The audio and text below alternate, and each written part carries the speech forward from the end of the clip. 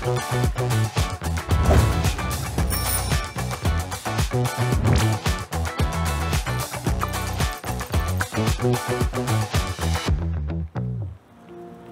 you're in Singapore and you just really let it all out on the road. So I find that like precious. So that feels great. It feels great to hit that speed. My name is Darren and I'm a triathlete. Hmm. My regime currently is I'll try and do something every morning. So I try to clock three to four bike rides a week. I'm a neurodiverse individual, although a lot of people don't see it. So I've got Tourette's that's visible from my facial twitch. And I'm also ADHD and I'm also autistic. I generally like to go for very long bikes if I've had a long day or I've had a stressful week.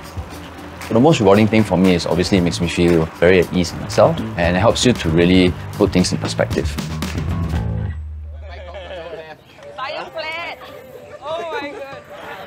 Why I like cycling so much is you're not thinking with your mind, you're not saying things.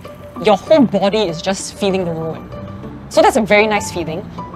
It's the mixture of moving and finding freedom in that kind of motion. As a cyclist in a group, which you call a peloton, we really work together to communicate because we are all each other's ears and eyes, especially on the road topmost tier of road etiquette, safety. One is you trust the people in front and behind you. The second thing is behave predictably. Don't suddenly stop. It's like mini routes within one big route, right? If you go around Singapore. It's like cycling through a whole metropolitan city, right? You see a bit of green, a bit of concrete, you see a bit of this and then traffic light. After a while, you start to appreciate it and you realize, hey, actually, it's quite nice, it's quite fun. My advice is always don't be too aggressive on the uphill. Always start conservatively and build up momentum. Be very mindful of your breathing. There's no harm in going down to your easiest gears. I think going uphill is not it's not really a race, it's really about clearing that portion of the ride and then going back to your flat and finding a rhythm again. Going up the hill, sometimes you need to weave, you need to use your core muscle. So it's a great way to work on your technical handling. But take it easy, have fun,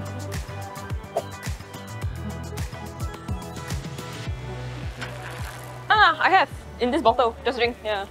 Take it, take it. To get into road cycling, I think you can really just go for it. Do your research. Just get started. Um, you will find people along the way. You can actually see what are the different cycling clubs in Singapore. You can just join them for rides. Having a community helps you keep going. And it also helps you have a group that you can ask questions. For cyclists, it's quite simple. We're always on the slowest lane. So usually it's a left turn here.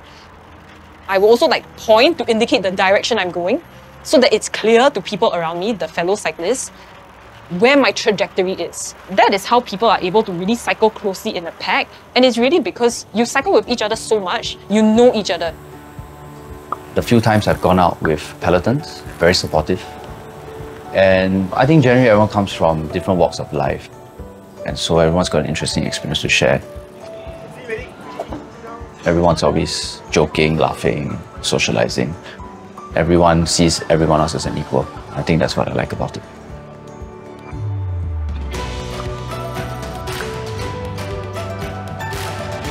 So today I'm here to see Gary at Weekend Bike Fitter because we want to optimize my position on the bicycle, especially as I do longer and longer rides. Wow, this is like, you know, Avatar, they film Avatar and then they put on your face. I think overall, you're having quite good scores. You're pretty solid. You can see from here, you are just going towards the left slightly. Lah. Okay, so left is like dipping a bit more. It's dipping a bit more, but it can be also your habit of pushing on the left. So you have no not much of a knee pain and stuff, right? Yeah. So it's just a few adjustments along the way. Like the tilt, how much tilt it has, front and back. You look at saddle tilt, having excessive saddle tilt, you're going to feel a lot of weight in the hands.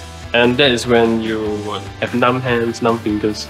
If you have like a saddle issue, uh, you feel saddle sore, when you come for a bike fit, typically you try different saddles, different kind of width, length of saddles, and some with or without a cutout option.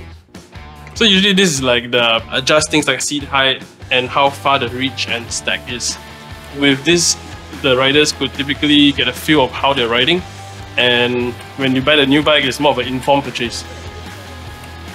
cyclists really like cycling. They really like their bikes. They can talk to you forever about the next upgrade they're thinking of. So actually, even if you don't know anyone, you know, there's always common topics to talk about. So it's actually a really great social activity. I think the sport, however, does make you stronger. You start at one point and you get to another. And it doesn't really matter how long you take as long as you get there. It's really a mirror image of life that you won't have a good day every day. And I think it's also taught me a lot about perseverance and resilience, which has helped me to get over certain mental health issues as well. Like the adrenaline keeps you going, even though after work you're tired, you meet up with friends, you cycle, you enjoy the scenery, you just catch up about life. Cycling is it has a lot of variety. You can do long endurance exercises, distances over 100 km. You just go slower, just enjoy it. For us, doing Sundays, you wake up cycling, you know, you get a good sweat out. Then after you see the sunrise, it's, a, it's quite a therapeutic feeling. It might be hard in Singapore because it's humid, there can be a lot of traffic, so it's scary, but you will not regret it. It will be a great experience for you. And just about keep moving forward. You realize a road bike can't cycle backwards, right? It's always in a forward motion. And I think that's very, very apt with how I approach life. And it's always about moving forward.